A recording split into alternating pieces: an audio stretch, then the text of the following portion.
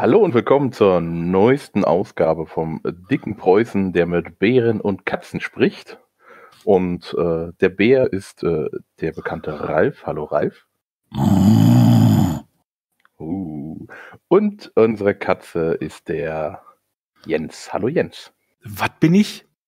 Eine Katze, also die Katze, weil du ja auch für Katzen um Katzen, mit Katzen, für Katzen, von Katzen. So, so, Bleib. ja, von mir aus. Dann äh, bin ich anscheinend eine Katze. Nicht? Ich, äh, was, was steht mir diese Begrifflichkeit zu? Also wenn, wenn du was bin ich, dann bin ich das wohl. Ja, du hast ja selber den Titel für das letzte Mal genannt, äh, von Katz, äh, Gespräch mit Katzen und Bären. War das mit oder über? Ähm, ich glaube, ja. mit im Sinne von äh, inhaltlicher Natur, aber egal. Ach von so. Aus, Inhaltlich. Äh, okay. soll's, ja, aber wir können auch gerne, wenn du das möchtest. Dann ist die Frage, was du bist. Ja, ich bin der Preuße dabei. Ach so. Und so. ich bleib, ich bleib einfach der Bär, das ist völlig okay. Okay. okay, also wir haben heute uns stundenlang vorbereitet auf ein wunderbares Thema und zwar ähm, Rollenspielsysteme ohne Spielleiter. Und ähm, Ralf ist der, ähm, der Experte in unserer Runde. Naja, also ich habe sie zumindest schon ein paar Mal gespielt und ähm, mich auch so damit beschäftigt, wie man sowas aufbaut. Von daher, also ich kann schon ein bisschen was dazu erzählen. Ja, wunderbar. Jens, hast du schon mal gespielt? Ich habe schon mal gespielt. Oh, da bist du auch Experte. Dann seid ihr beide Experte. was hast du, was hast du dann schon mal gespielt? äh, ich habe mal ein paar Mal äh, Fiasco gespielt und ich kenne Western City. Da hast du mir bei Western City was voraus. Fiasco war tatsächlich auch damals mein Einstieg. Hm. Okay, bevor wir zum, zum Grundthema anfragen, warum ich überhaupt mal auf dieses Thema kam. Ähm, Gerade im Brettspielbereich ist es sehr trendy, sag ich mal, so mit einer App oder einfach, also entweder mit einer App oder gegen die Karten zu spielen, also immer gegen das System zusammen. Im Rollenspiel ist es ja eigentlich tendenziell eher so, dass man einen Spielleiter oder Meister oder wie auch immer hat, der sozusagen das Spiel an sich verkörpert und dann meist mit den Spielern gegen die Spieler spielt, sozusagen, weil er ja auch die Gegner darstellt.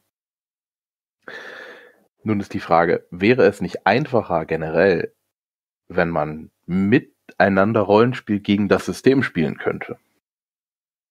Um es auch einsteigerfreundlich zu machen, weil der Roll, der, der, der Meister hat ja, äh, dessen Aufgabe ist ja um einiges komplexer. Ja, also ich würde tatsächlich nicht sagen, dass der Spielleiter gegen die, gegen die Spieler spielt, äh, weil dann gewinnt er. Äh, der spielt schon mit denen, äh, aber bietet natürlich bestimmte Herausforderungen etc., Stories, je nachdem, was die Spieler haben wollen. Ähm, und ähm, ja, natürlich äh, ist in der, also ich sag mal, im, im klassischen, typischen Rollenspiel ähm, ist der Spieler natürlich, hat der natürlich mehr Arbeit. Ja, weil der der Spieler ist, der, also der ist auch Spieler, ja, der spielt ja auch mit äh, hat entsprechend auch Rechte, wie alle anderen Spieler auch. Also auch ein Spielleiter hat Recht, Spaß zu haben. Ähm, und ähm, trotz allem hat er natürlich mehr Arbeit, weil er halt äh, vorplanen muss, äh, mitmachen und auch äh, quasi durchgehend auf, auf Zack sein muss. Weil Spieler kann sich mal eine halbe Stunde ausklinken. Das beim Spielleiter, äh, es gibt Situationen, da geht das, wenn die Spieler fröhlich irgendwelche Dinge äh, treiben, aber meistens klappt das halt eher nicht. Hm. Also du meinst jetzt äh, beim Shadowrun, wenn man äh, plant, wie der Einbruch stattfinden soll, die Stunde oder drei. ja, oder wenn die Charaktere soziale Interaktion treiben, miteinander reden, sich zanken, da kann ja alles Mögliche passieren. Hm. Also ich denke auch, der Grund, warum man irgendwann auf den Gedanken kam, den Spielleiter sozusagen aus dem Spiel zu entfernen, war tatsächlich, dass man ein Spiel mit weniger Vorbereitungszeit machen kann. In dieselbe Richtung geht ja zum Beispiel auch Dungeon World oder PBTA-Systeme, also Powered by the, by the Apocalypse Systeme, die ja auch sagen, ich brauche nur eine Grundsituation, alles andere entwickle ich zusammen mit den Spielern. Hm. Und ähm, man kann einfach einen Abend vorbereiten, indem man sozusagen eine Seite Abenteuer liest und dann äh, lässt man einfach laufen und äh, guckt, was die Spieler äh, mit ihren Ideen äh, dann zuliefern. Und ich glaube, der nächste Schritt ist dann eben einfach, das Spielsystem so aufzubohren, dass man auf den Spielleiter an sich sogar und vielleicht sogar auf die ganze Vorbereitung noch verzichtet und die also mehr oder weniger ad hoc macht und dann einfach in ein Spiel einsteigt, ähm, ja, das einfach von der Fantasie aller Spieler, aller, aller Spieler eben äh, entwickelt wird, während man spielt. Hm.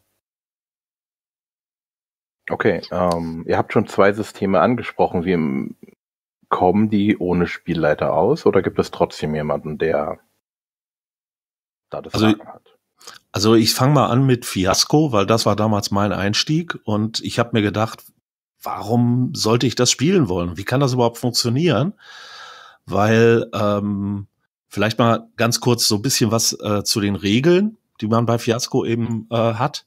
Man würfelt ähm, mit im Endeffekt vier Würfeln pro Spieler. Äh, wenn ich also mit vier Spielern unterwegs bin, würfel ich insgesamt mit 16 Würfeln. Acht davon sind hell, acht davon sind dunkel. Und äh, das bedeutet im Endeffekt, äh, kann ich dann aus den Ergebnissen äh, und einem vorliegenden, äh, einer sogenannten Kulisse, kann ich ablesen, okay, wen spiele ich hier überhaupt? Und welche Verbindungen haben die untereinander? Und worum geht's in diesem Spiel? Das sind Tabellen, wo ich dann jeweils Würfelergebnisse zusortiere. Und dann stelle ich fest, ich spiele immer mit meinen Nachbarn zusammen, dann stelle ich vielleicht fest, okay, ich bin ein Gangsterboss und äh, meine Nachbarin zur Linken ist meine Geliebte und mein Nachbar zur Rechten ist also mein Lieblingskiller. Das ist meine Verbindung zu denen. Und dann gibt es vielleicht noch einen vierten Spieler, mit dem ich momentan noch keine Verbindung habe, aber dafür haben die meine beiden Nachbarn diese Verbindung. Und das sind die ersten, weil die ersten vier äh, Würfel oder die ersten zwei meiner Würfel, die ich also einsetze, um diese Beziehung zu etablieren. Und danach habe ich weitere Würfel, um eben weitere Elemente, also einen Ort oder ein Ziel oder äh, einen Gegenstand oder ähnliches zu etablieren. Und während das, während man das tut, entsteht tatsächlich schon ein Teil der Geschichte, weil man sich dann überlegt, ähm, ja, was, wenn man zum Beispiel sagt, was ist denn jetzt das Ziel meines Charakters oder das Ziel irgendeines Charakters am Tisch? Und dann sagt man zum Beispiel, äh, der, ähm, der Killer, der möchte mein Nachfolger werden. Das ist sein Ziel. Oder meine Geliebte möchte sich von mir trennen. Und die wird dann im weiteren Verlauf des Abenteuers versuchen, dieses Ziel zu erreichen. Und dazu kommen dann die verschiedenen anderen Charaktere äh, und ihre Motivationen und so weiter zusammen. Und so abstrakt das dann klingt, aber tatsächlich funktioniert es im Spiel wirklich sehr gut, weil man gemeinsam die Ideen entwickelt, wie die Charaktere zusammenhängen. Und das funktioniert eigentlich ziemlich, äh, also in den Runden, die ich bis jetzt hatte, funktionierte das immer sehr gut. Hm. Also die, die, die, es geht dann eher um die, die Charakter, Charaktere untereinander. Ja, jein, es geht eigentlich, es geht, läuft darauf hinaus, dass ähm, man quasi szenenweise beschreibt, äh, also quasi äh, einer der Haupterzähler ist und die anderen sind mal so ein bisschen zuschießen können nach bestimmten Regeln. Mhm. Und ähm, dadurch jeder nicht nur seinen Charakter spielt, sondern quasi Szenerien aufbaut, in der halt sein der jeweilige Charakter schon irgendwie mehr oder weniger zentral ist, äh, aber ansonsten halt auch alles andere drumherum hängt sozusagen. Und die Zielsetzung ist eben eine daraus eine eine dynamische und, und äh, meistens etwas verrückte und wirre Geschichte zu äh, erzählen, während man versucht, diese Verbindungsteile einzubauen. Das sind quasi so Stichwortgeber. Äh, was könnte jetzt passieren? Und dann guckt man halt, okay, was, was hat mein Charakter für Verbindungen? Okay, der hat diese Geliebte und die sind verbunden durch das Objekt das Stofftier der verstorbenen Tochter und er hat auch den Killer irgendwie und dann kannst du überlegen, wie, bei euch das zusammen, dass da was bei rumkommt. Und jede dieser Szenen hat auch immer ein Ziel, was ich als Charakter, ich bin immer dann der führende Charakter, wenn man so will, der Spielleiter der einzelnen Szene. Ich erkenne, ich ernenne also ein Ziel, was ich erreichen will. Und ich kann mich dann auch noch entscheiden, will ich dieses Ziel erreichen? Will ich es nicht erreichen? Oder will ich die Szenerie beschreiben? Eine dieser beiden Sachen kann ich. Also ich kann entweder sagen, ich treffe mich mit meiner Geliebten irgendwo, um sie davon zu überzeugen, äh, bei mir zu bleiben. Aber ich lasse, und zwar treffe ich sie in einem Lokal. Da lasse ich das Ergebnis offen. Oder ich entscheide vorher über das Ergebnis und sage, ich will, dass sie sich entscheidet, zu mir zurückzukommen. Dann spiele ich in diese Richtung. Und die anderen dürfen die Szene drumherum beschreiben. Ich kann aber auch zum Beispiel freiwillig verzichten und äh, also auf einen Erfolg verzichten. Und das ist eigentlich auch das, ähm, das Entscheidende am Fiasko, weil ich will am Ende das Fiasko erleben. Ich will mich selber immer tiefer in die Probleme reinreiten und am Ende soll es wirklich zum absoluten Desaster kommen. Das funktioniert wunderbar. Also am Ende haben wir Häuser niedergebrannt, den heiligen, äh, unheiligen Cthulhu beschworen, äh, uns alle gegenseitig erschossen. Ich weiß nicht, was noch alles, aber eine Runde Fiasko endet eigentlich immer wirklich mit dem absoluten Debakel, mehr oder weniger für alle. Das ist der Reiz dieses Spiels. Tatsächlich also diesen Weg in die Katastrophe freiwillig und willens, äh, willig zu beschreiten. Hm. Aber es ist praktisch, einer ist sozusagen dann die zentrale Figur und die anderen spielen dann sozusagen nur Nebencharaktere. Nee, jeder spielt seine Rolle und wer der zentrale Charakter ist, das äh, entscheidet sich von Szene zu Szene. Es ist immer der, der gerade aktiv ist. Erst bin ich das zum Beispiel, wenn mhm. ich anfange. Dann wäre es zum Beispiel die äh, meine Geliebte, dann macht die eine Szene mit einem Charakter, mit dem sie eine Verbindung hat. Und dann geht das immer reihum. Und äh, ich kann als nicht beteiligter Spieler kann ich entweder so in eine Rolle als ähm, ja, wie kann man das nennen? Ja, NSC kann ich eingreifen, wenn der einer das möchte, oder einfach wirklich nur so als Ideengeber, oder ich halte mich einfach ganz ruhig und bleib einfach da sitzen. Mhm. Also das war auf jeden Fall damals so, dass äh, so wie wir es also kennengelernt haben und äh, es führt also, das ist eigentlich sehr schön geführt durch die Regeln, weil man verbraucht erstmal für jede Szene nimmt man einen Würfel. Das heißt, man hat genau vier Szenen, bis das Ganze zu Ende ist. Und dann wird geguckt, wie sieht es jetzt aus? Ähm, wie schlimm ist jetzt die Lage? Weil ich habe vorhin mal gesprochen von den hellen und dunklen Würfeln. Ähm, weil jeder helle oder jeder dunkle Würfel ähm, bedeutet am Ende, je mehr ich von einer Sache habe, desto besser geht's für mich aus. Habe ich also zum Beispiel nachher vier oder äh, vier helle Würfel, geht's ganz gut für mich aus. Habe ich zwei helle, zwei dunkle, geht's schlecht für mich aus. Und hell und dunkel bedeutet jeweils immer, ich habe es geschafft oder ich habe es nicht geschafft. Das heißt, ich kann mich auch, ich kann mich auch ganz freiwillig immer tiefer, äh, auf gut Deutsch gesagt, in die Scheiße reiten. Mhm. Und das ist auch mit der Spaß, der da eben bei äh, passiert. Man spielt eben zwei Stunden, drei Stunden, dann ist so eine Runde vorbei. Und äh, am Ende ist eben irgendwas passiert und ja, eigentlich die meisten der Charaktere äh, kommen also mehr oder weniger ähm, mit äh, Schäden aus der ganzen Sache heraus oder sterben sogar. Also es ist ein ziemlich, ziemlich krasses Spiel in der Hinsicht, dass man sich eben darüber im Klaren sein muss, hier geht's nicht wie bei einem typischen Rollenspiel darum, ein Abenteuer zu überstehen und sozusagen als Held daraus zu kommen, sondern ich weiß, ähm, ich werde mit ziemlicher Sicherheit eben nicht aus der ganzen Sache unbeschadet herauskommen. Ob man daran Spaß hat? Ich fand's toll. also im Endeffekt, ich weiß schon, wie bei Cthulhu, die Chance, äh, das Ganze zu überleben, ist eher gering. Ja, letztendlich ja. Also wenn ich, äh, wenn man es überlebt, dann wird man zumindest in irgendeiner Form äh, körperlichen oder seelischen Schaden erleiden und äh, wie gut oder wie schlecht das dann am Ende ausgeht, Äh, wie gesagt, das hängt auch von den Würfeln ab. Man kann das also ein bisschen beeinflussen, aber im Großen und Ganzen geht es um den Spaß am Erzählen. Mhm. Okay. Also einen dritten Spielleiter gibt es dann nicht, sondern es ist halt einfach nur derjenige, der jetzt halt gerade die, die Szene hat. Genau, der entscheidet, äh, was, ja, was jetzt gespielt wird. Und das geht, wie gesagt, drei um. Und der kann mit jedem Charakter, mit dem er eine Beziehung hat, kann er eine Szene spielen. Das heißt, wenn wir das Vierer, wenn wir wieder so eine Vierergruppe haben, dann sitze ich sozusagen an einem Ende des Vierecks und am Anfang kann ich mit meinen beiden benachbarten Ecken spielen, aber nicht mit der gegenüberliegenden.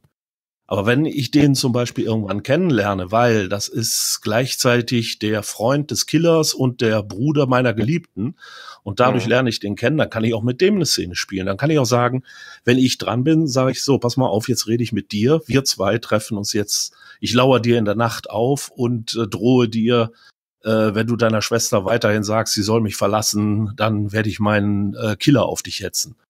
Mhm ohne zu wissen, dass die zwei befreundet sind oder was auch immer. Also solche Szenen können sich daraus auch entwickeln. Und da muss ich mich eben auch drauf einlassen wollen, dass ja. eben wirklich das Chaos dann teilweise am Tisch regiert. Okay, also es ist aber eher eine kurzweilige Sache. Also Kampagnen oder so kann man damit nicht spielen. Nein, das ist ein reines. Das ist aber bei fast allen dieser Erzählspiele ist es so, die sind wirklich auf One-Shots ausgelegt. Das heißt, so nach dem Motto, äh, es fehlen welche heute Abend und mhm. äh, wir wollen aber trotzdem spielen. Was können wir spielen? Äh, ich hole mal Fiasco raus und dann hole ich eine Kulisse raus, hole ein paar Würfel und dann sage ich, okay, wir spielen heute Abend äh, hier die Kulisse im Nordmeer, auf der Autobahn, viktorianisch, äh, Jack the mhm. Ripper, mhm. was auch immer. Ja. Und äh, das ist bei fast allen, also ich überlege gerade, ich kenne eigentlich kein Spiel, das äh, spielleiterlos agiert und das wirklich auf mehr als so einen Abend ausgerichtet ist. Hm. Weil die meisten haben wirklich dann nur eine Geschichte. Okay. Ähm, Jens, kennst du da mehr? Äh, für Kom äh, Kampagnen wüsste ich jetzt nicht. Okay. Ähm, aber du hast das andere, da gibt es noch ein anderes Rollenspiel, was du sagst, Western irgendwas. Ja, Western City. Äh, ja, es ist ein deutsches Produkt. Ich äh, habe jetzt den Autor gerade nicht auf dem Schirm, aber kann man mit Sicherheit googeln. Ähm, die Grundidee ist genau das, zu sagen, wir machen jetzt mal ein spielleiterisches System, wie zieht man es am schlausten auf? Und die Grundidee, also es läuft darauf hinaus, ist, deswegen heißt es auch so, es ist eine Westernstadt und äh, jeder hat auch einen Charakter entsprechend dazu. Ähm, und es gibt abwechselnd Szenen, also es gibt, die, die Stadt ist grob definiert oder, oder kann man zumindest so basic-mäßig definieren. Und dann gibt es abwechselnde Szenen mit Action und ohne Action. Also ruhige und schnelle Szenen sozusagen. Und ähm, für jede Szene, ähm, oder fangen wir andersrum an, jeder Spieler hat eine bestimmte Ressource. Ähm, und für jede Szene kann er mit dieser Ressource äh, bieten, ob er, ob er die leitet, also ob er quasi die Position des Spielers einnimmt. Ähm, und am Anfang haben alle gleich viel, aber logischerweise, wenn der Erste dann das höchste Gebot abgegeben hat, dann gibt er diese Ressource ab und die wird aufgeteilt auf die anderen Spieler ähm, so dass er als nächstes vermutlich nicht nochmal dran ist, weil er zu wenig von dieser Ressource hat. Äh, und so wandern diese Szenen halt äh, immer weiter rum, weil immer jemand darauf bieten kann und äh, irgendwann halt immer ein Ungleichgewicht in dieser Ressource besteht. Das heißt, irgendjemand anderer wird sich vermutlich durchsetzen. Und dadurch, also man kann natürlich sagen, es gibt deswegen also doch einen Spielleiter, aber es sind das alle ja, weil äh, immer einer eine Szene macht, eine ruhige Szene, was ich irgendwo im Saloon, man betrinkt sich, man erzählt irgendwas, kriegt irgendwas raus, erfährt irgendwas oder sowas, oh, hier die, die Larsenbrüder kommen in die Stadt, wird erzählt und sowas. Und der nächste sagt, okay, Banküberfall, die Larsenbrüder sind da und will die Schießerei oder irgendwie sowas, keine Ahnung, das ist mhm. mal irgendwie relativ wahllos äh, ausgedacht.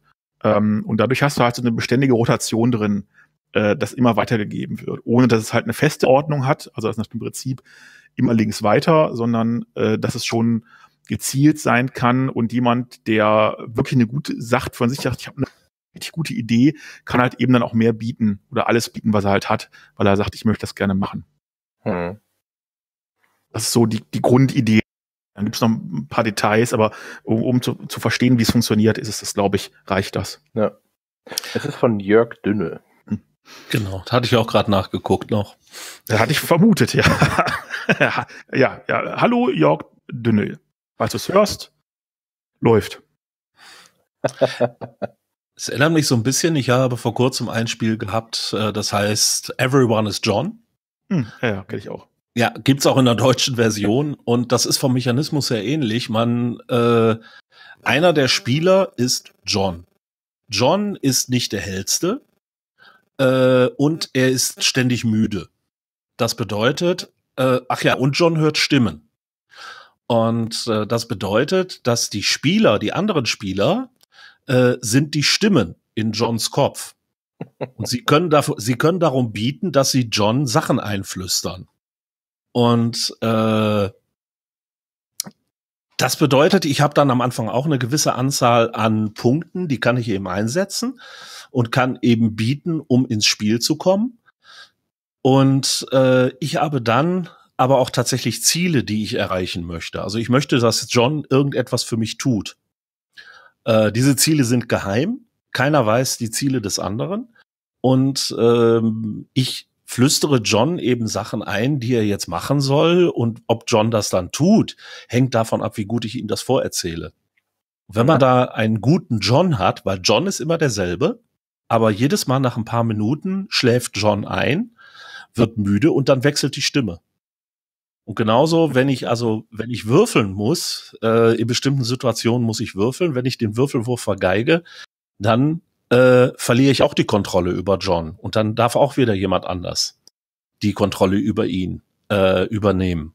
Mhm. Und das ist, äh, das ist ein wunderschönes Spiel, weil man muss, äh, läuft ja eben in komplett unterschiedliche Richtungen. Man muss immer dafür sorgen, dass John das tut, was man selber möchte. Wenn also der eine sagt, ich möchte, dass John heute äh, seiner Liebsten einen Hochzeitsan äh, einen Heiratsantrag macht und der andere sagt, ich will, dass er seine Liebste umbringt, ähm, versuchen beide in die Nähe der Liebsten zu kommen, aber dann versuchen sie eben komplett konträre Sachen mhm. mit ihm anzustellen.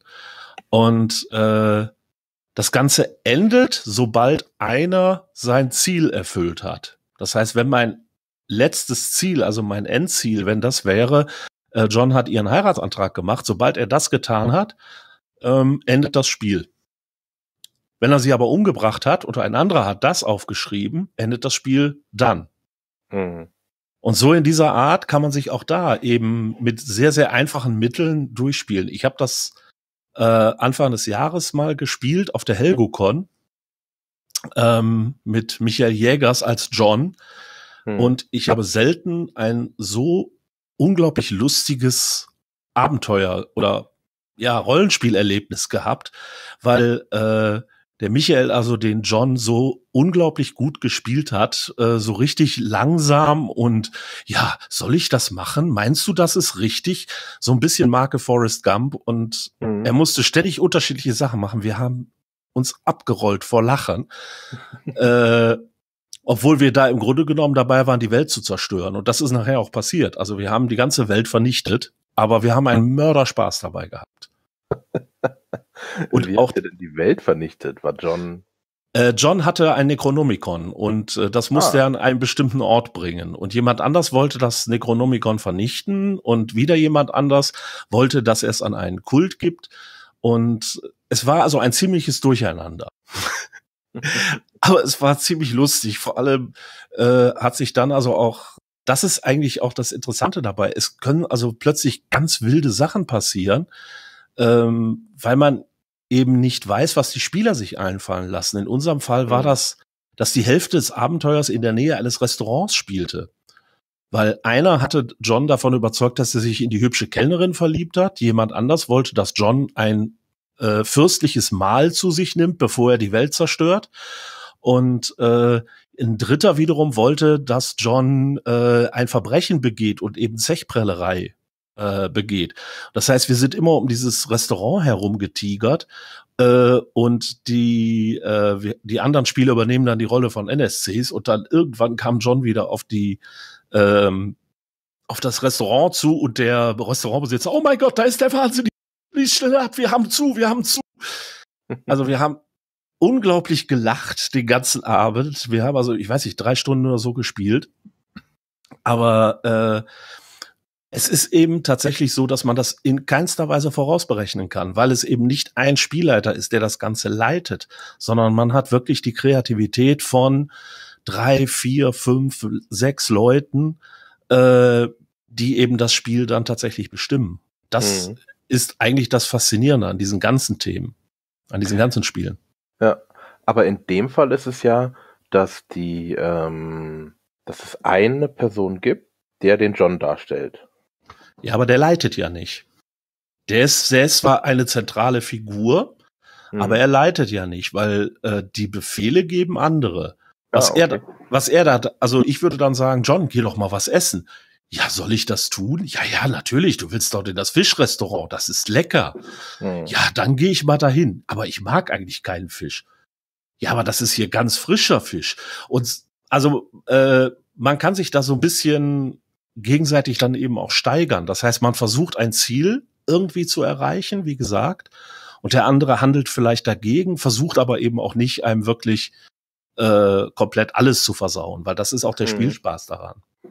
Ja. Es ist also so ein bisschen so eine Mischung aus, ähm, ja, so ein bisschen Spielleiter, geleitetes Spiel. Ich weiß nicht, wie man es ausdrücken will. Hm.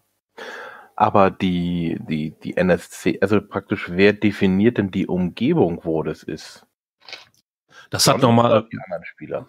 Das hat normalerweise einer liefert praktisch so ein Szenario vor, nämlich John. Mhm. Also in dem Fall war es eben einfach so, dass äh, der äh, Michael hatte also äh, ein paar Sachen mitgebracht, die konnten wir, also er hatte eine Tasche dabei, wo ein paar Sachen drin waren. Er hatte also schon so ein bisschen ein Szenario vorbereitet, aber ähm, es war eben völlig unklar. Er rannte zum Beispiel da die erste halbe Stunde immer mit dieser Tasche rum und keiner hat ihn gefragt, was in der Tasche ist. Mhm. Und in der Tasche war eben das Necronomicon. Und erst als er das dann rausgeholt hat, äh, dann merkten wir so langsam, ah, da geht's lang. Aber ähm, es ist also schon so, dass man zwar ja so ein bisschen wie eine Sandbox vorbereitet, aber äh, tatsächlich, was dann daraus gemacht wird, entscheiden also sehr, sehr stark die Spieler. Hm. Hm. Das erinnert mich ein bisschen an Siebte See. Ich weiß nicht, habt ihr das schon mal gespielt? Also die zweite Version jetzt. Ja, spiele ich gerade. Uh. Und jetzt? Äh, ich nicht, nee, ist nicht so meins. Ah, okay. Ich weiß es noch nicht, ob es meins ist.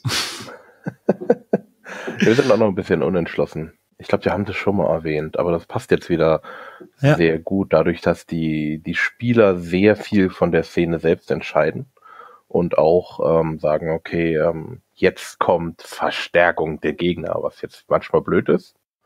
Aber es bringt halt dann zum Beispiel Punkte, mit denen man dann wieder was anderes machen kann. Mhm. Also wir hatten das letztens in, wir hatten letztens unsere erste richtige Spielrunde und da war es eben auch so. Ich war zwar der Spielleiter, aber die Szene, die sich dann abgespielt hat, mit, da war, da habe ich nur noch reagiert, weil meine Spieler eben gesagt haben, ja, ich hatte einen Spieler, der wollte unbedingt eine Frau äh, abends, also sich im Endeffekt eine Frau aufreißen, ne? Mhm. Und äh, er marschierte dann los, er hatte so und so viele Steigerungen, also Erfolge, die er dann einsetzen konnte und mhm. hat über den Abend hinweg also äh, ja diese Steigerungen eingesetzt, wie es ihm in den Kram passte. Ähm, es hat nachher nicht funktioniert, aber das war auch seine Absicht. Das fand ich auch sehr interessant. Ne? Auch da war es eben so, ich habe diese ganze Szene improvisieren müssen, weil das vom Abenteuer her natürlich gar nicht vorgesehen war. Und äh, der Spieler hatte nachher eigentlich die komplette Kontrolle auch über diese Szene. Der konnte dann auch sagen, ja, ich mache jetzt dies und das, das gelingt mir, weil ich habe noch die entsprechenden Erfolge. Und ähm, jetzt am Ende habe ich die Erfolge nicht mehr, aber äh, ich habe eben, äh, ich kann damit jetzt sozusagen freiwillig scheitern und dann passiert mir äh, eben etwas Lustiges und ich krieg vielleicht von der Frau eine geschallert oder äh, ich werde von den äh, äh, von irgendwelchen Wachen erwischt und muss mich jetzt dann äh, verteidigen und weglaufen, weil dann wechselt ja die Szene und all sowas. Also da sind auch solche Elemente drin. Ich habe sowieso das Gefühl, dass dieses dieses ja Player Empowerment oder wie auch immer man das nennen möchte sowieso also immer stärker in Spiele Einzug findet und den Spielleiter zumindest ich sag mal seine ja wie will man es nennen seine Allmacht die er früher mit Sicherheit inne hatte so zu DM Zeiten also Dungeon Master Zeiten die wird ihm mit Sicherheit heute genommen hm. Und das ist auch, glaube ich, an vielen Stellen sehr interessant, weil man eben tatsächlich, äh, ja, tatsächlich mit den einzelnen Spielern äh, und deren Ideen das Spiel äh, viel offener und auch eventuell viel interessanter gestalten kann. Hm. Habt ihr, ähm, äh, andersrum, findet ihr, dass das eine gute Entwicklung ist? Was meinst du jetzt? die das ähm, praktisch, dass die Entscheidung aus der Hand des Spielleiters in die Hand der Spieler zu legen. Ich finde, es ist äh, so ein bisschen ein zweischneidiges Schwert. Man muss sich darüber im Klaren sein, wenn man das spielt, dass man als Spielleiter eben möglicherweise was ganz anderes spielt, als man sich vorgenommen hat. Hm. Ähm, wenn ich jetzt also sage, ich bereite ein Spukhausabenteuer vor und meine Spieler sagen dann, was, Spukhaus? Nee, da haben wir Angst, da gehen wir gar nicht erst rein. Dann ist das natürlich äh, so ein bisschen unbefriedigend möglicherweise für mich als Spielleiter. Aber auf der anderen Seite, wenn ich also so eine Szene habe, ja, wie jetzt mit meinem äh, äh, Verführer bei Siebte See, der sich dann selber damit auch noch äh, das sein eigenes Grab gräbt sozusagen. Ähm, das sind wahnsinnig tolle Szenen, finde ich. Und generell halte ich also Player Empowerment, wie man es ja so schön nennt, äh, für eine gute Sache, solange man sich darüber einig ist, wie weit man das tut. Also wenn tatsächlich einer ähm, so ein Gesamtplot damit äh, ja, ich sag mal, entgleisen lässt und damit vielleicht äh, dem Spielleiter und den anderen Spielern äh, irgendwo den Spaß nimmt, finde ich es nicht gut. Also man sollte sich darüber im Klaren sein, ob sowas passieren soll oder äh, ob ich eben äh, auch der Spielerbeteiligung, also Mitbeteiligung im Sinne von äh, Abenteuerplot entwerfen, wo ich dem die Grenzen aufsetze. Hm. Um, hast du das ein bisschen im, im Beronomicon auch umgesetzt? Bei einigen Sachen. Das ist, da, es gibt leichte Klamotten. Es gibt beim Beronomicon gibt es dieses, äh, was ich da das und bezeichnet habe. Das ist, wenn ich mehr Erfolge erziele, als, als ich eigentlich brauche, dann bekomme ich ein und oder mehrere und. Und das bedeutet jedes Mal, ich kann mir was Besonderes noch ausdenken. Also ich kann einen extra Erfolg erzielen, also irgendwas ganz Besonderes machen oder tatsächlich auch so äh, Plot-Elemente noch mit reinnehmen, dass ich sage, hier, ich finde jetzt dies und das oder ich kenne hier jemanden, der das und das kann. Sowas finde ich super, das bringt auch unheimlich viel. Ähm, wovor ich so ein bisschen zurückschrecke, ist halt tatsächlich, wie ich schon gesagt habe, wenn ich von vornherein mir also eine gewisse Plotstruktur übernehme und mir mit meinen Spielern auch darüber äh, einig bin, dass wir das spielen wollen. Also beispielsweise jetzt ähm, ein Geisterhaus oder sonst irgendwas. Sollte es meines Erachtens nicht ähm, oder führt es eigentlich eher in Probleme, wenn ich jetzt ähm, einfach durch ein gewisses äh, Player Empowerment äh, da, dafür sorgen kann, dass der erste Spieler, der das Haus betritt, äh, setzt sozusagen irgendetwas ein und sagt, ja, ich weiß jetzt das Geheimnis dieses Hauses, wie sieht es aus? Mhm. Das heißt, ich hau das Abenteuer, was eigentlich geplant war, so ein bisschen kaputt. Das finde ich dann ein bisschen schade. Also ich denke, da kann man äh, andere Methoden finden oder das ein bisschen, ich sag mal, so ein bisschen für sich selbst einschränken. Mhm. Und jetzt? Ähm, grundsätzlich, ähm, dass es das gibt, finde ich eine schöne Sache. Man hat halt dadurch mehr, mehr Auswahl. Es gibt der, dem, dem, dem Rollenspiel quasi etwas mehr, etwas mehr Breite in der, in der Möglichkeiten, was man so spielen kann. Ich halte es nicht für jedes System und für jedes Spiel sinnvoll. Ähm, ich halte es auch nicht für jeden Spieler für sinnvoll. Ähm, aber so als äh, Teilelement, dass man in bestimmten Spielen verwenden kann, ist das durchaus eine interessante Entwicklung. Ja. Und hast du in DSK das irgendwie eingebaut? Ähm, Im eigentlichen Regelwerk gibt es als äh, quasi Minimalbaustein, was das angeht, die Schicksalspunkte, aber da kann man diskutieren, ob das wirklich Player Empowerment ist oder nur eine zusätzliche Ressource, weil das bei, was ich bei Shadowrun 3 mit Karma oder auch schon bei Shadowrun 1, glaube ich, schon mit Karma Pool und sowas auch schon alles gab. Und da würde niemand sagen, dass das irgendwie was mit Player Empowerment zu tun hat. Ähm, es gibt für, äh, es gibt noch diese Erzähl-Kinderregeln, im Kompendium, äh, die sehr, sehr einfach gehalten und sehr kompakt sind. Und da gibt es einen optionalen Regelaufsatz für Erzählrechte, hm. wo man über äh, eine Ressource äh, äh, Szenen quasi kaufen kann, wo man dann selber erzählt. Aber das ist, das ist quasi ein äh, alternatives Zusatzregelwerk eben für äh, sehr spezielle Anwendungen, das mit dem eigentlichen DSK so nicht viel zu tun hat, außer dass man halt die gleiche Welt bespielen kann damit. Mhm. Oder auch DSA, wenn man will.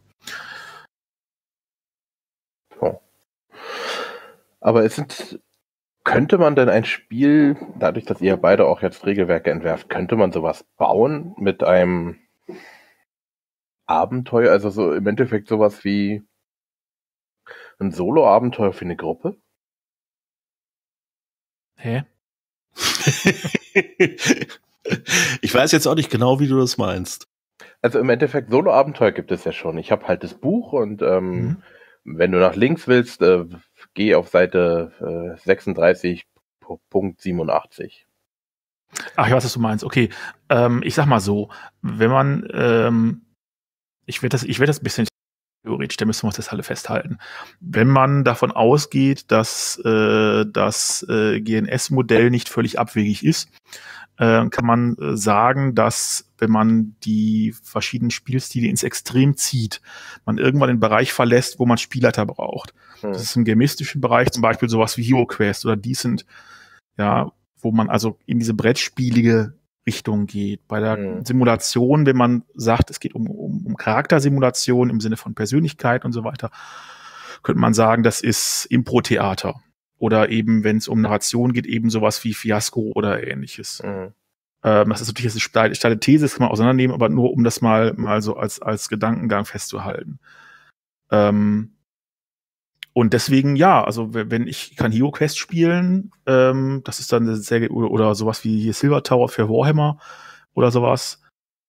Ähm, und das geht dann in die Richtung. Das ist dann, äh, weil das häufig ja auch vorge vorgesetzte Szenarien sind, oder auch Aventuria oder sowas. Das sind ja alles Brettspiele oder, oder Kartenspiele mit, mit Rollenspielelementen. Das heißt, du bist in diesem Randbereich. Ähm, deswegen klar geht das. Genauso wie, wie Fiasco, auch das natürlich dann sehr improvisiert ist durch, durch seine Struktur oder improvisierend. Ähm, auch das ist ja ein Randbereich. Da kann man auch sagen, ist es wirklich ein Rollenspiel oder ist es eher ein Erzählspiel? Weil die Darstellung der Rolle gar nicht so sehr im Vordergrund steht, sondern jeder ja auch die Welt mitbeschreibt. Ähm, so von daher, ja, gehen tut das. Ob man das will, ist die Frage, aber äh, ich denke, technisch umsetzbar ist das natürlich. Hm. Also wenn ich dich richtig verstehe, möchtest du im Endeffekt, eine Gruppe setzt sich hin und erlebt ein Abenteuer, aber es ist, sitzt, ihnen sitzt kein Spielleiter gegenüber. Genau. Ähm, geht, was so in die Richtung geht. Äh, ich habe vor einiger Zeit mal Time Stories ausprobiert. Das ist ein Brettspiel. Oh ja. Und bei Time Stories ist es tatsächlich so, ich habe einen vorbereiteten Satz mit Karten und äh, diese Karten und eventuell noch andere Elemente ähm, sind praktisch ein Fall, wie es da benannt wird, oder ein Abenteuer, könnte man genauso sagen. Und äh, ich weiß als Spieler nicht, was hier passiert. Also zum Beispiel in dem ersten ähm, Fall, den man also bespielen kann, äh, gehe ich zum Beispiel in der Zeit zurück, darum Time Stories, und mhm. äh, lande in einer äh, in einem Sanatorium. Und ich weiß, in diesem Sanatorium stimmt irgendwas nicht. Was da nicht stimmt, weiß ich nicht. Und äh, das Spiel ist dann so aufgebaut, dass ich äh, durch das Sanatorium laufen kann. Wenn ich bestimmte Räume betrete, ähm, werden Karten aufgedeckt oder äh, äh, die mir also Spielmöglichkeiten geben oder Zusatzbretter, glaube ich sogar. Es ist leider schon eine Weile her. Und ähm, dann kann ich praktisch sagen, okay, ich habe jetzt eine bestimmte Anzahl von Aktionen, die ich machen kann. Jetzt spreche ich mal mit der Krankenschwester und ich als zweiter Charakter spreche mit dem Arzt. Und dann bekomme ich Informationen oder ich bekomme weitere Aktionen freigeschaltet. Ja, wenn ich also zum Beispiel in der Ecke suche, finde ich eine Geheimtür. Und wenn ich durch diese Geheimtür gehe mit den anderen, äh, dann öffne ich, öffnet sich mir ein neuer Raum. Und da bekomme ich wieder neue Karten. Und äh, das Erlebnis ist tatsächlich relativ nah an einem Rollenspiel dran. Also ich war ziemlich überrascht. Wir haben es also ausprobiert und ähm, es ist tatsächlich ohne einen Spielleiter. Das wird alles durch das Spiel selbst erledigt. Und äh, man hat aber wirklich so eine gewisse, ja, also ich muss Hinweise finden, ich muss äh, Dinge tun, äh, die mich auf bestimmten Wegen äh, dann ans Ziel oder auch ins Verderben führen. Wenn sie mich ins Verderben führen, muss ich wieder ganz am Anfang starten. Das heißt also, mhm. ich komme mit einem neuen Charakter praktisch wieder rein. Ähm, und letztendlich gibt's auch eine Auflösung äh, für diesen ganzen Fall. Es ist natürlich nicht so frei wie normales Rollenspiel, aber vom Spielgefühl her kommt es also zumindest so einem Solo-Abenteuer mit Sicherheit ziemlich nahe. Und es ja, macht, es macht Spaß. Ja, also man muss dazu sagen, ich habe es auch schon mal gespielt. Ähm, es hat natürlich sehr viele narrative Elemente, so ist es nicht. Aber es läuft eben darauf hinaus, was man vielleicht erwähnen muss. Das heißt deswegen Time Stories, weil man irgendwie als Zeitreisender diese Situation immer wieder neu erleben kann. Das heißt, man, wenn man es einmal nicht auf die Reihe bekommen hat, startet das ganze Ding nochmal von vorne. Und im Endeffekt läuft es darauf hinaus, dass du so eine Art perfekten Ablauf erkennen musst.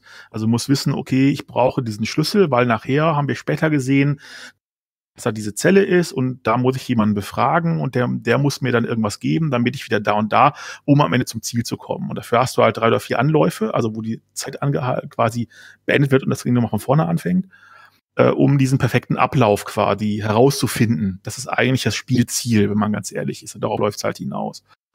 Und ähm, äh, du hast halt deut natürlich zwangsläufig vom Medium her deutlich geringere Freiheitsgrade als bei einem Rollenspiel, weil es halt, also es gibt halt niemanden, der improvisieren kann. Ähm, und also mir persönlich, ich habe mit diese Wiederholung, ich sehe das tatsächlich narrativ so ein bisschen als Schwäche an. Also weil du halt am Anfang, also nach dem zweiten und dritten Anlauf hast du so die erste Hälfte dann rausgeknobelt, wie weit du kommen musst, was du vorher machen musst. Und dadurch hast du halt immer nach dem zweiten, dritten Zeitsprung einen Ablauf. Da weißt du ganz genau, ich muss jetzt da lang gehen, dann muss ich den ansprechen, dann muss ich den Knopf drücken und eine bestimmte Reihenfolge, die ich ablaufen muss, damit ich dann weiterarbeiten kann in dem Bereich, wo ich noch nicht war.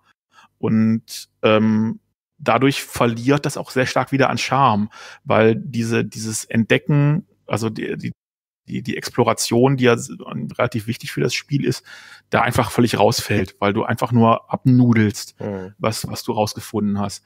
Ähm, und ja, das war so ein, so ein Ding. Also grundsätzlich finde ich die Idee ganz interessant. Ähm, und man kann da sicherlich auch viel Spaß mit haben. Aber das fand ich ein, doch durchaus ein Schwachpunkt äh, in dem System. Ähm, das und dass dieser, der, der, also der Fall, der im, im, im, in der Box drin ist, dem merkt man halt auch an, dass der für was an, ganz anderes entwickelt wurde und dann quasi mit einem schweren Gegenstand in diese Rahmenhandlung, man muss ja immer diese Zeitlöcher oder Zeitrisse oder Anomalien finden, ähm, äh, dass das eigentlich überhaupt nicht da reinpasst, weil am Ende passiert, äh, es ist halt eher sowas Richtung, Richtung Suluida Mythos. Und es hat halt mit, mit Zeitparadoxen eigentlich nichts zu tun. Also die, die, die Spielmechanik wurde erst nach der Story eingebaut, meinst du? Nee, aber die haben dieses, diese, diese, diese Idee mit dem Kartenspiel, dass man mehrfach durchwandern muss, äh, haben die zwar gemacht, aber die haben dann relativ, ich vermute es, also es ist ein bisschen Reverse Engineering äh, ganz am Ende halt, weil sie gedacht haben, okay, das ist cool, das wollen wir gerne mit verschiedenen Szenarien haben, äh, haben sie eine Erklärung gesucht, warum man verschiedene Szenarien damit machen kann. Und das hat diese Grunderklärung, ja, wir sind so eine Art Zeitreisepolizei und wir müssen alles reparieren, wenn was kaputt geht. Und äh, äh deswegen kommt er in dieses Szenario rein. Eigentlich ist das aber eher sowas tatsächlich so, äh, äh, äh wie nennt man das, American Gothic Horror was eigentlich mit diesem eher technologischen Sci-Fi äh, äh, Zeitreise-Ding eher jetzt nichts zu tun hat. Also es stimmt, äh, das stimmt schon. Wir hatten also auch das Problem, oder was heißt das Problem? Wir haben halt auch äh, dann ein, zwei Mal mussten wir noch durchlaufen und äh, dann mechanisiert man das. Ähm, aber ich muss sagen, mir hat's also trotzdem insofern Spaß gemacht, weil ich gesagt habe, ja, jetzt muss ich den ersten Teil, muss ich jetzt mal so mechanisch ablaufen, äh, aber danach bekomme ich dafür auch wieder was Neues äh, zu sehen. Und äh, ja, es mag durchaus sein, dass das, ich sag jetzt mal, ein bisschen auf äh, ja, gedrückt ist oder wie auch immer man das nennen möchte. Aber äh, ich fand es trotzdem sehr spannend, ähm, das Ganze also äh, in dieser Form mal zu erleben, weil es halt wirklich eine ganz andere Art zu spielen ist als tatsächlich ein Rollenspiel oder ein normales Brettspiel. Ja, also tatsächlich, also ich denke tatsächlich, man kann daher sagen, es ist so ein bisschen in so einem Grenzbereich. Ähm, wo halt der Spielleiter quasi in der Form nicht mehr existiert und dadurch ist man eben in diesem Grenzbereich in dem Fall zum Brettspiel. Ja, äh, und das kann man, glaube ich, in, in allen Fällen sagen, wo der Spielleiter irgendwann nicht mehr äh, als Position nicht mehr existiert, dass man sich dann irgendwann quasi in so einen Randbereich begibt, äh, von Rollenspielen zu anderen Genres. Mhm.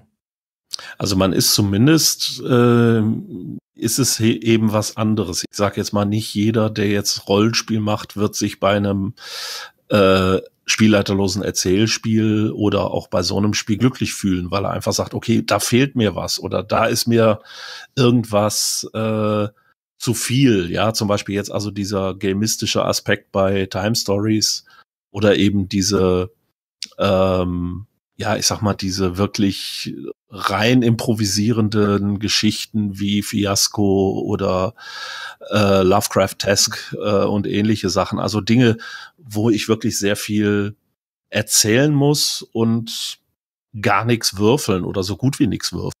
Das haben, hat man ja auch.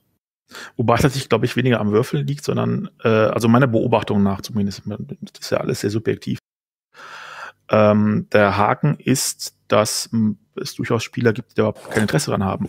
Also die wollen gar nicht großartig definierend und erzählend tätig sein. Die wollen ja. einen schönen Abend Rollenspiel spielen, die wollen ein bisschen würfeln, die wollen ein bisschen Spaß haben. Ähm, und ähm, die manche können das nicht und manche haben da auch einfach kein großes Interesse dran. Ja. Also ich denke auch, ähm, dass äh, wenn man sich ein Spiel äh, anguckt, bleiben wir jetzt einfach mal bei Fiasco, dass man dann mit Sicherheit äh, ein, ähm, einen Spieler hat, der einfach sagt, da komme ich nicht mit. Also meine erste Fiasco-Runde, mhm. die lief mit drei Rollenspielautoren und einem normalen Spieler. Das war für den normalen Spieler verdammt schwer, weil er mit drei Leuten da zusammengesessen hat, die alle gesagt haben, ja, so, okay, improvisieren, da kriegen wir was hin.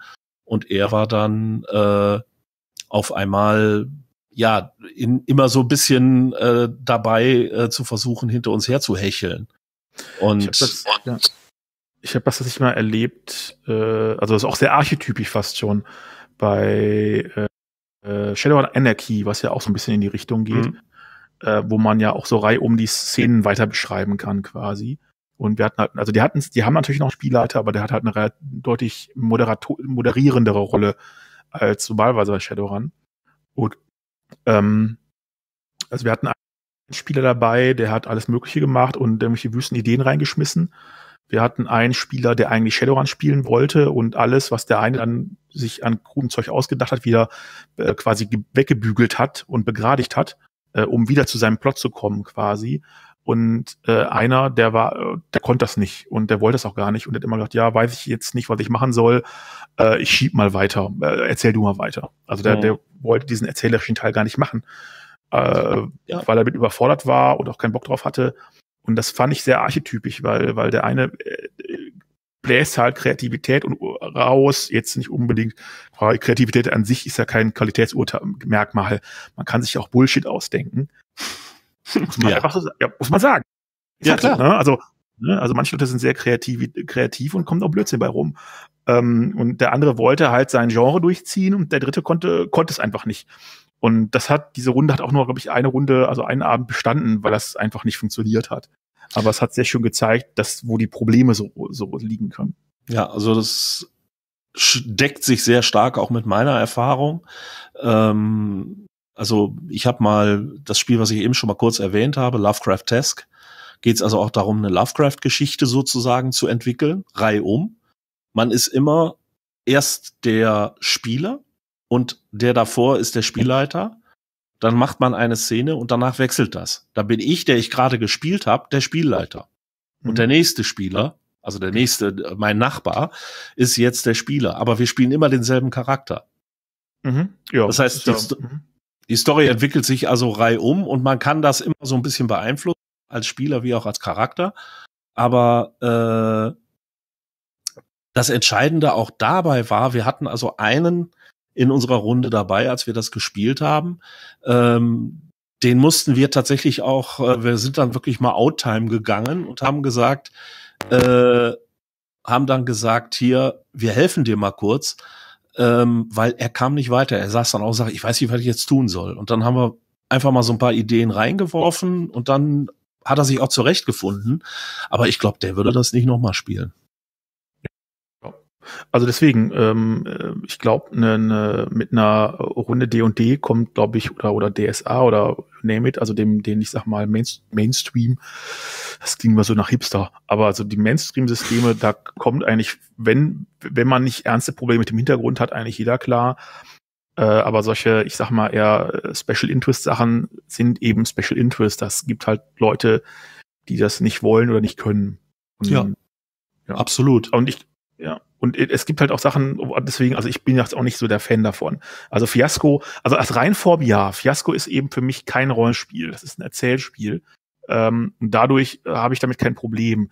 Aber wenn das so Mischformen annimmt, also mit so, so ein Teil äh, Erzählrechtehandel, aber nicht komplett, dann habe ich da, äh, also das ist, was ich Schwierigkeiten habe ich damit vielleicht nicht, aber ich finde es einfach nicht cool. Es macht mir keinen Spaß. Weil entweder ich mache ein Rollenspiel, wo es auch um Herausforderungen geht und Nachdenken und Taktil und vielleicht Rätsel lösen oder was auch immer. Ähm, oder ich äh, erzähle frei ähm, und denke mir irgendwelche lustigen Sachen aus, wo es halt wirklich um die Narration geht. Ähm, aber dann kann ich eigentlich auch eine Kurzgeschichte schreiben oder irgendwie sowas. Ja, also von daher ähm, erscheint mir, also für mich ist es nicht das richtige Medium, das Rollenspiel. Erzählspiel ja, Rollenspiel also mit einem festen Charakter und so, also in, der, so, einer, in so einer Mischsituation, ja, mal als Experiment oder was Spaß macht, aber auf Dauer, glaube ich, würde ich das nicht spielen wollen. Ich sag mal, man spielt ja letztendlich nicht auf Dauer, sondern es ist ja tatsächlich sowas für einen Abend und da wechselt man. Dann jetzt spiele ich mal dieses und mal jenes System. Ich weiß aber, was du meinst. Nur, wenn du jetzt zum Beispiel sagst, äh, du möchtest mehr so taktisch oder taktieren und du möchtest mehr Rätsel lösen und sonst irgendwas, also ich sag mal so das klassische Rollenspiel, wie man es also äh, ja, ich sag mal aus D&D, DSA-Richtung schon heraus kennt. Das ist dann zum Beispiel eher etwas, was mich nicht so abholt, sondern ich bin dann tatsächlich eher so in der Richtung unterwegs. Ich möchte eben viele Geschichten erzählen und äh, ich muss jetzt aber nicht zum Beispiel irgendwie die Rätsel des Sphinx lösen oder äh, muss irgendwie einen Dungeon durchlaufen oder sonst irgendwas. Ich ja, denke, ich denke, das ist halt tatsächlich einfach so ein bisschen Spielertypus abhängig, was einem gefällt und äh, woran man jetzt also den meisten Spaß hat. Ja, klar, also das nur weil mir was nicht gefällt, heißt es ja nicht, dass andere was nicht gefällt. Der, der Knackpunkt, denke ich, oder der Dreh- und Angelpunkt ist eben diese Metaebene, dass äh, man ähm, seinen, also quasi diese, diese Ebene des, des eigentlichen äh, Charakterspiels und äh, der Interaktion mit der Welt, was auch mit Immersion, finde ich, zu tun hat, verlässt und auf eine Metaebene geht und sich überlegt, okay, was wäre denn jetzt für die Handlung interessant? Darum geht's ja eigentlich. Es geht ja gar nicht zwingend um den Charakter, ob der irgendwas äh, Interessantes oder Spannendes macht, sondern ob die Gesamthandlung davon profitiert, was ich da gerade tue. Und das ist für mich äh, eine, eine andere, andere äh, Denkebene sozusagen, die interessant ist, sonst würde ich nicht in dem Bereich arbeiten, aber die am Spieltisch für mich keine Rolle spielt oder eine sehr, sehr sagen wir mal, eine über, überschaubare Rolle, äh, vielleicht auf meinen Charakter, wenn ich ihn spiele, fokussiert, aber nicht für die, für die Gesamtheit der Narration sozusagen. Und ich würde das genau andersrum für mich aufsetzen, weil ich finde das total spannend, wenn ich merke, ich komme zum Beispiel zu leicht durch ein Abenteuer durch oder ich habe zu wenig ja, Konfrontationspunkte in einem Spiel, in einem Spielabend, ähm, würde ich jetzt keine blöden Aktionen reiten oder so. Aber dann freue ich mich, wenn mir mal der entsprechende Würfelwurf misslingt oder wenn mein Charakter tatsächlich mal etwas missverstehen kann oder wenn ich einen seiner Nachteile ausspielen kann. Also wirklich durch mein Handeln Probleme verursache, die ich jetzt im Abenteuer einsetzen kann oder die mein Spielleiter einsetzen kann, um äh, sie gegen mich zu verwenden. Aber da brauche ich ja keine weder Erzählrechte noch Play Empowerment für. Nee, brauche ich nicht unbedingt. Aber das hilft natürlich äh, auf eine gewisse Art und Weise auch, wenn ich äh, sage, hier, ich kann mir jetzt meine eigenen Probleme sozusagen erzählen. Ja, aber das, das kann, das kann ich ja auch so. Also äh, gut, das ist, man muss halt gucken, mit wem man spielt. Also beziehungsweise was für ein Spiel die die Gesamtgruppe hat, weil äh, das, das fällt dann so ansonsten doch doch arg Richtung Taschen am Fallenlasser und die sind jetzt auch nicht überall beliebt. Aber wenn das für alle Beteiligten okay ist und man sagt, okay, das ist halt auch Charakterdarstellung, Charakterspiel, der Charakter ist halt irgendwie so ein bisschen, der hat halt so seine Macken und Nachteile und so, ähm, mein Gott, ich kein Problem drin, aber dafür brauche ich eben diese, diese Play, also dieses, dieses Erzählrecht, Handel etc. nicht. Ne? Sondern ich kann einfach sagen, das ist halt jetzt so. Gerade weil ja, viele, ich meine, viele auch alte Systeme haben ja sogar dieses ganze Vor- und Nachteilgedönse mit dabei. Ja, klar. Das geht schon, aber wie du schon sagtest, also ich glaube, in manchen äh, Gruppen würde man also einen Spieler wie mich hassen.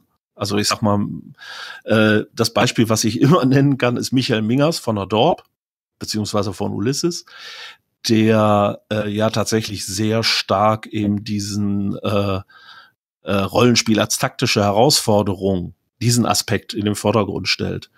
Und äh, wenn wir zwar in einer Gruppe wären, ich glaube, der würde irgendwann nach der Hälfte des Abends durchdrehen, ähm, weil ich eben äh, tatsächlich ziemlich anderen Spielstil favorisiere und den eben auch spannender finde.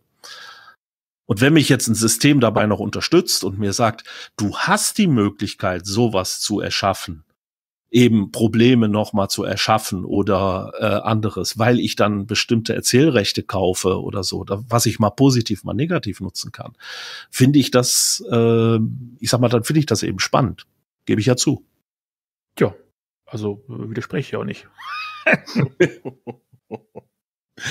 so, ich glaube, jetzt haben wir aber den guten Preußen so lange zugetextet mit allem. Ich glaube, der war einfach zwischendurch gar nicht da. Der hat sich noch eine da geholt. Na, ich bin, ich hatte, er hatte witzigerweise ist mein Internet ausgefallen kurzzeitig.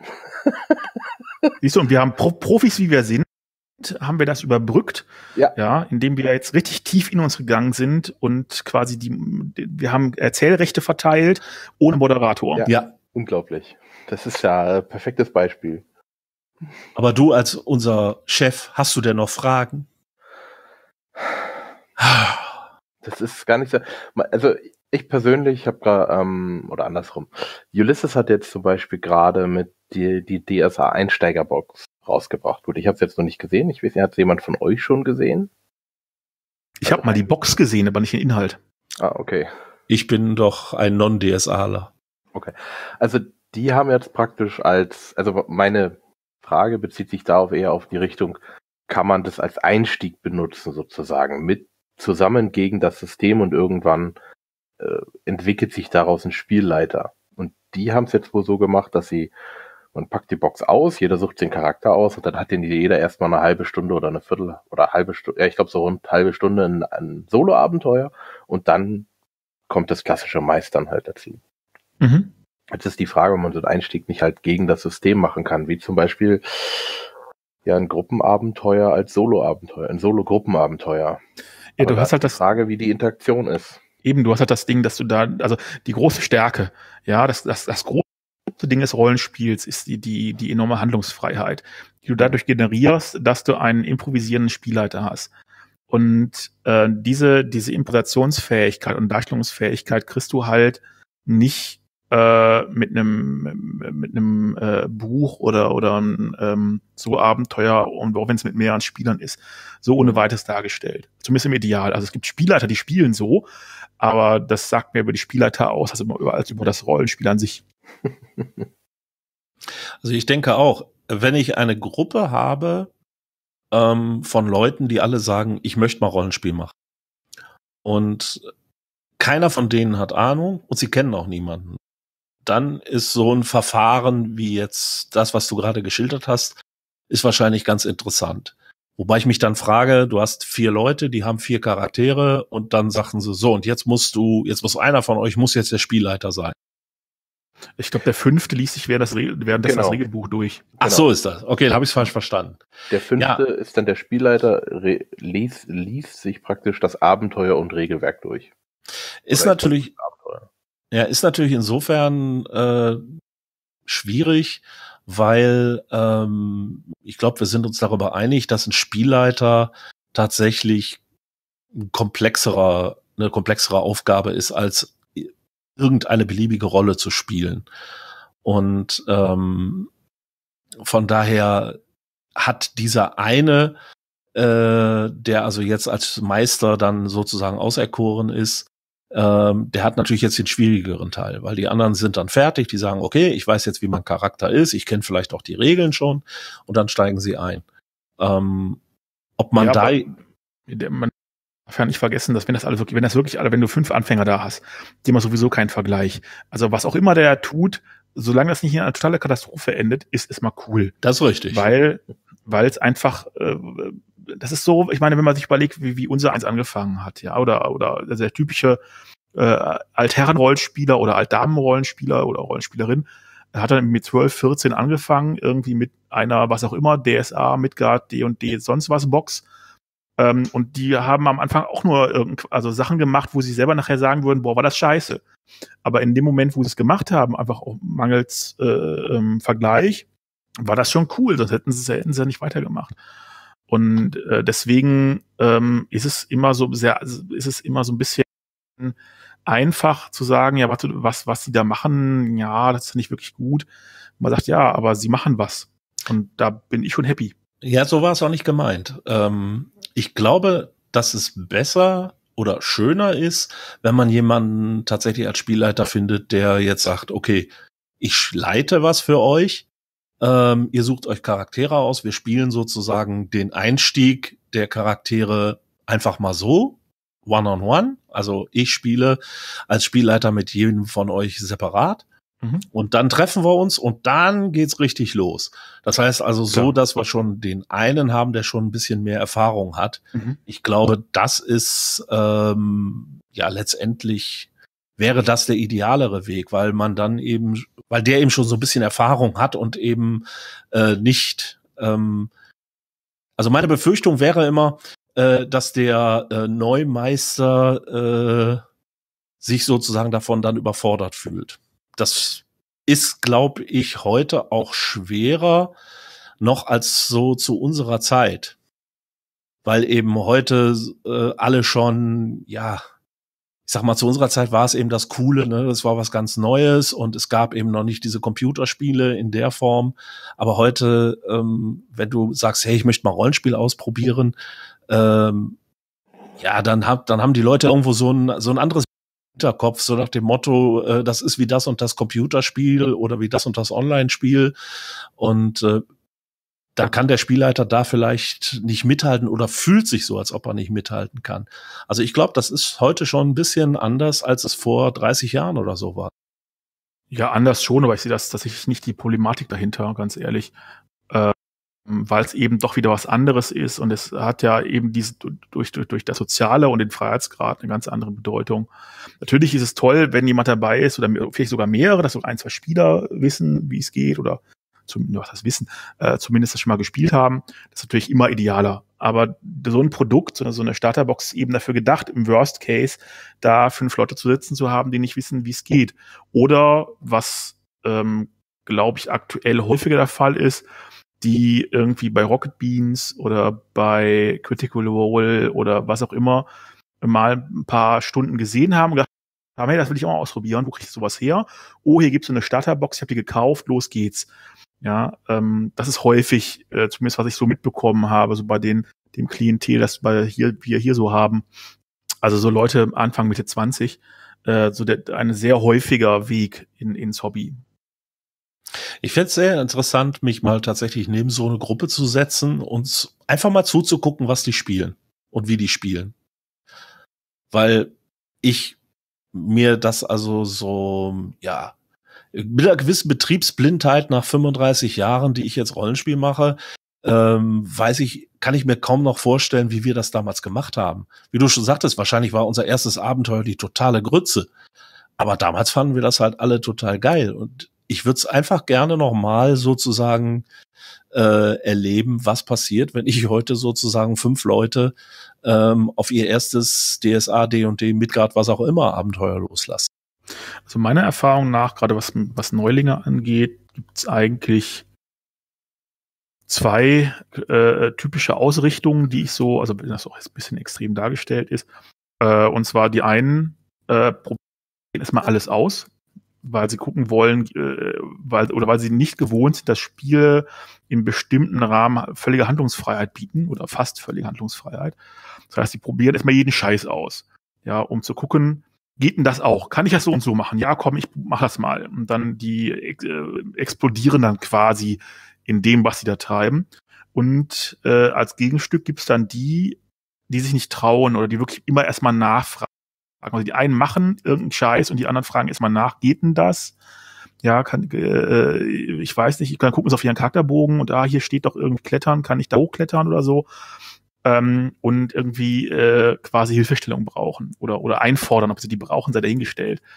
Ähm, das ist so ähm, teilweise dann bis hin zu so ein bisschen äh, äh, sehr passivem Spiel, sage ich mal, weil sie, weil sie halt nicht genau wissen, was sie machen. Also ich muss dazu sagen, ich habe tatsächlich, fällt mir jetzt gerade so ein, ähm, am gratis Rollenspieltag habe ich mit einer Familie gespielt. Vier Kinder und eine Mutter. Die Mutter kannte Rollenspiel, die Kinder nicht. Die Kinder waren zwischen elf und 15, glaube ich. Waren nicht alles ihre, waren also auch ein paar Freunde dabei. Äh, und ich hatte also, ich habe mit denen dann Beronomicon gespielt. Und ähm, das hat also erstmal auch ganz gut funktioniert. Ich hatte einen dabei, der den wahrscheinlich geilsten und kaputtesten, verrückten Wissenschaftler aller Zeiten gespielt hat. Der hat alles in die Luft gejagt in dem Abenteuer. Ich habe sehr viel Spaß gehabt dabei ähm, aber ich hatte dann auch äh, eine Spielerin, die also völlig überfordert war. Und das war nicht die jüngste. Die jüngste, die konnte das sogar noch ganz gut. Aber so bei denen war dann so nach zwei Stunden war Tilt. Dann war mhm. wirklich Aufnahmeende erreicht. Und äh, dann saßen die dann in ihrer Ecke und hatten ihr Handy in der Hand und äh, daddelten da irgendwie drauf rum. Und ich habe dann versucht, sie anzuspielen, so nach dem Motto, was tust du denn? Und dann schock, sch, sch, schreckten die richtig hoch. Ich kam mir vor wie so ein Lehrer in der Schule, der sie beim äh, Fuschen erwischt hatte. Ne? dann rief ich so, ja, ich, ich weiß nicht, was, was, was kann ich denn? Ne? Ja, ist egal. Du wirst da von der, von diesem Monster angegriffen. Was tust du denn jetzt? Ja, ich weiß nicht, ich weiß nicht. Und äh, das fand ich also sehr interessant, wie unterschiedlich das auch war, weil es war wirklich keine Frage auch des Alters, weil dieser Junge, das war also irgendwie, glaube ich, der zweitjüngste oder äh, irgendwie sowas, aber der hat das wirklich äh, nachher über drei Stunden hat er das saugut äh, durchgehalten. Und ja, also es, es gibt Leute, die sind, die mögen das, es gibt Leute, die auch ich, genauso wie Leute es gibt, die gerne Fußball spielen, welche die nicht gerne Fußball spielen. Das ist halt ein Hobby, da muss man halt, äh, oder muss man Freude dran haben, da muss man vielleicht auch Freude an Mimikry haben, also an, an der Darstellung sozusagen, etwas Fremden. Ähm, und es gibt Leute, die haben da eher nicht so Bock drauf und dann können ja. sie natürlich schlecht sagen, du, äh, ich bin jetzt mal weg. Ja, weil wenn die Mutter auch da sitzt und die Geschwister, dann kannst du halt nicht einfach sagen, ja, tschö. Also man sitzt halt dabei und wartet, bis es vorbeigeht. Genauso wie man, was ich, bei einem Fußballturnier irgendwo auf der Bank sitzt und wartet, bis es vorbeigeht. Genau. Und wie, wie fandest du, dass ich heute gespielt habe? Du hast auch gespielt, habe ich gar nicht gesehen. ja, aber es stimmt schon. Aber wie gesagt, ähm, ich weiß nicht, ob man, äh, um auf die ursprüngliche Frage zurückzukommen, ich glaube nicht, dass eben der Weg von einem, ja, ich sag jetzt mal so einem Erlebnis, ich gegen das System, also im Sinne von ich gegen das Spielsystem, mhm. ähm, das ist ja, das ist eine ganz andere Art, es zu erleben und dann äh, den Schritt äh, zu machen und zu sagen, okay, das, was ich jetzt erlebt habe, das war auch schon DSA als Beispiel. Und ich gehe jetzt eben den Schritt und sage, okay, einer von uns wird jetzt Spielleiter und ähm, die anderen spielen weiter ihre Charaktere. Ähm, das ist, das ist, glaube ich, ein äh, ziemlicher Unterschied. Äh, auch im Spielgefühl. Von daher weiß ich nicht, ob einen das wirklich vorbereitet, darauf äh, ähm, sozusagen zuerst das und dann das zu spielen. Ich glaube, das ist, glaube ich, eher wie so ein Bruch äh, in dem, äh, was man dann wirklich kennengelernt hat. Also die werden wahrscheinlich dann eher, wenn ihnen das jetzt gefallen hat, dann wahrscheinlich eher noch mal sowas wie Time Stories oder so spielen wollen, wo sie praktisch gegen das Spiel antreten. Mhm. Ja gut, also man kann das, das Spielgefühl so leider nicht rüberbringen, also muss man gleich richtig anfangen. Ja, wobei ich nicht weiß, ich könnte mir vorstellen, wenn einer da wirklich Spaß dran hat, dass man ihn auch über so ein Erzählspiel tatsächlich auch kriegen kann, wenn diese Person ähm, ja wirklich auch diese Kreativität, dieses Denken, dieses Improvisieren, ähm, dieses Selbsterfinden der Geschichte, wenn es da, wenn diese Person daran Spaß hat.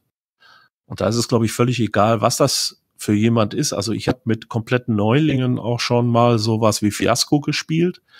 Ähm, die kannten auch kein Rollenspiel.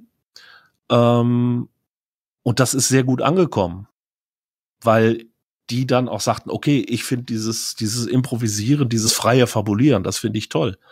Mhm. Aber wie Jens schon sagte, es gibt auch Leute, die können da gar nichts mit anfangen, die dann aber vielleicht was mit Rollenspiel anfangen können oder auch damit nicht, die also dann einfach sagen, nee, das ist mir alles irgendwie, nee, das ist komisch. Ja, aber wenn man so ein introvertierter Spieler ist oder generell eine introvertierte Person, dann ist es schon schwieriger. Wobei ich sagen muss, ich habe in meiner in meinen Rollenspielrunden auch zwei, drei Leute, die eher ein bisschen introvertierter sind, aber den, die trotzdem sehr viel Spaß dabei haben.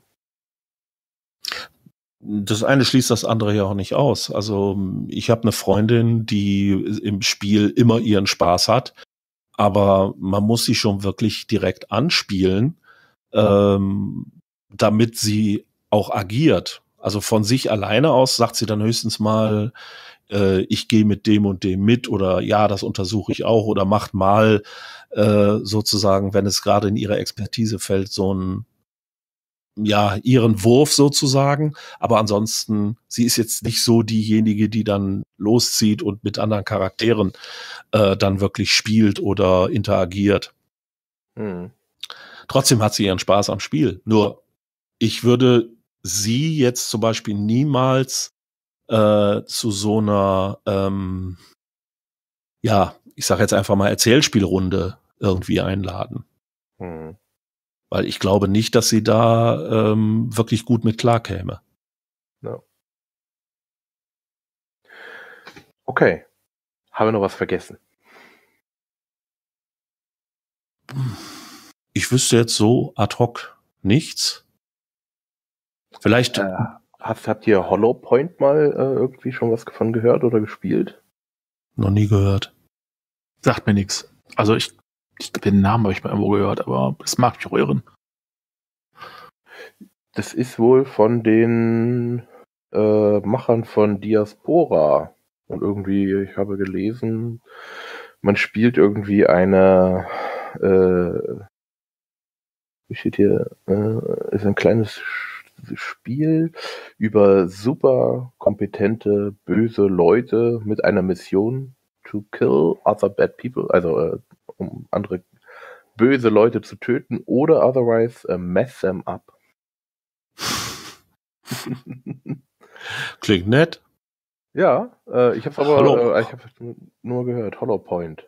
Hollow Point, wenn ich mir jetzt nicht ganz vertue, müsste das doch ein Hohlspitzgeschoss sein, ne? Ja. Mhm. Also wenn man nur noch Hollowpoint googelt, dann ähm, Steht jetzt BKA vor der Tür. Also ich hoffe jetzt nicht, aber ich, ich habe ja mal den, den bei uns im Discord hier das gepostet und ich poste es auch mal den Link in die ähm, zu uns in, den, in, die, in die Folge. Mhm. Von den Kanadiern VSCA. Okay, dann ähm, schauen wir mal, vielleicht äh, spielt das mal irgendjemand von uns und kann dann berichten. Oder natürlich kann auch ein Zuhörer gerne davon berichten oder noch uns weiteren Input geben.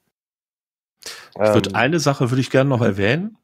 Und zwar ähm, spiele ich zusammen mit ähm, Moritz Melem, Michael Jägers und Tim Rauche momentan tatsächlich äh, Lovecraft-Task über unseren Blog. Mhm. Also beziehungsweise über unsere vier Blogs. Ähm, und das ist halt auch mal so ein Experiment, was wir wagen wollten, weil es da eben, wie gesagt, das ist halt dieses ähm, Lovecraft-bezogene Erzählspiel, bei dem die Spielleitung praktisch nach jeder Szene wechselt. Und mhm. wir wollten mal probieren, wie das im äh, wie das also über Blogs abzuspielen ist, ob man das eben auch hinkriegt, weil jeder praktisch eine Szene erzählt und die anderen müssen dann darauf reagieren und müssen ihre eigene Szene äh, dann an das anpassen, was vorher äh, gelaufen ist. Ich bin mal sehr gespannt, wie das äh, weitergeht. Wir sind jetzt also momentan gerade kurz nach der dritten Szene. Das heißt, jetzt muss ich demnächst das erste Mal ins Geschehen eingreifen, weil ich der Letzte in der Reihe war. Und äh, ja, lässt sich bis jetzt ganz interessant an. Ich bin mal gespannt, äh, in welche Richtung sich diese Geschichte noch entwickelt. Mhm. Also jeder schreibt praktisch im deinem Blog die aktuelle Geschichte sozusagen. Genau, also wir schreiben immer weiter fort und äh, es gibt also bei jedem von uns so einen Überblickspost, wo man also dann die ganze Geschichte der Reihe nach nachlesen kann. Mhm. Und äh, ja, unser Ziel ist es also, das jetzt erstmal durchzuziehen und zu gucken, ähm, was da letztendlich bei herauskommt und das vielleicht auch dann noch mal ähm, so wie Jens vorhin sagte, man kann ja auch eine Kurzgeschichte daraus machen oder ähnliches. Vielleicht das äh, mal sozusagen in der gebündelten Form irgendwie rauszubringen oder äh, vielleicht auch mal zu vertonen, also einen Podcast zu machen oder sowas in der Art. Aber im Moment wissen wir also noch nicht, ähm, was sich daraus entwickelt, wie das also weitergeht. Ähm, ich wollte es halt nur mal erwähnen, weil es jetzt auch eben ziemlich gut zu dem Thema passt, worüber wir uns die ganze Zeit unterhalten haben. Hm. Ja, dann äh, schick mir mal den Link, dann kann ich den einbauen. Das mache ich gern. Perfekt. Jens, haben wir irgendwas vergessen? Mm, nö, ich glaube, wir haben das Thema äh, sehr, sehr umfassend und ausgiebig besprochen. Also man kann bestimmt da nochmal in verschiedene Details reingehen, aber ich glaube, so summa summarum im Groben haben wir's. Und vielleicht haben wir ja fast was vergessen, dafür gibt es ja die Kommentare. Also wer der Meinung ist, Moment, das ist ja alles völlig falsch dargestellt. Die Wahrheit sieht folgendermaßen aus. Äh, noch zu. Und außerdem haben die oh. zwei eh keine Ahnung. Ja gut, das kommt noch dazu, aber das ist ja in dem Land. aber wenn die zwei keine Ahnung haben, dann hat ja einer immer recht. Ja, nein, das Entscheidende ist ja, du holst dir ja immer die Leute und stellst dann Fragen, damit du auf jeden Fall gut dastehst, weil ne, wir dann ja den Stuss erzählen. Nein, das würde ich so nie tun. das würdest du so nie sagen. Äh, ohne meinen Anwalt sage ich jetzt nichts mehr. Das war mir klar. Gut, dann äh, Ralf, danke für deine Zeit. Gern geschehen. Hat viel Spaß gemacht. Ja, Jens, auch danke für deine Zeit. Es war mir eine Freude. Ja, danke für die Zeit äh, der Zuhörer, die ihr euch genommen habt, um zuzuhören. Fragen, Wünsche, Anregungen ähm, gerne in die Kommentare. Schreibt uns was, dass ihr ein einfaches Ja, wir hören euch würde mir reichen. ähm, dann wünsche ich allen noch einen schönen Tag, schönen Abend, schönen Moin und bis zum nächsten Mal. Ciao. Tschüss. Ciao, ciao.